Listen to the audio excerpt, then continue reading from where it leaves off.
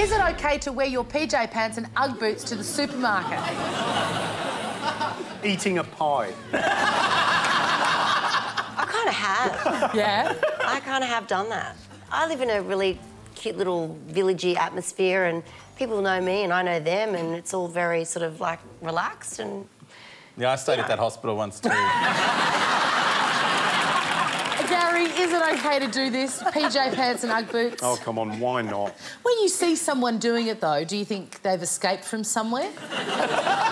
Yeah, there, there was a funny moment last year where I just thought paparazzi moment. The the car had broken down. My wife was in her jammies. Uh, she had her UGG boots on, and I thought, perfect. This is going to look great on the cover of a magazine. But no, never. And did you you were next to the car going?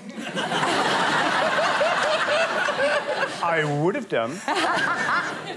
Adam, is it okay to wear your PJ pants and Ugg boots to the supermarket? if your supermarket's in, you know, Double Bay or Subiaco or somewhere glamorous. So if it's fancy, Yeah, don't, because the police will come. but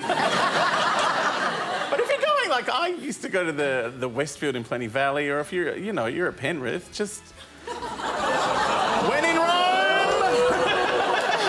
Controversial. Controversial. The whole side of the audience there went, ooh.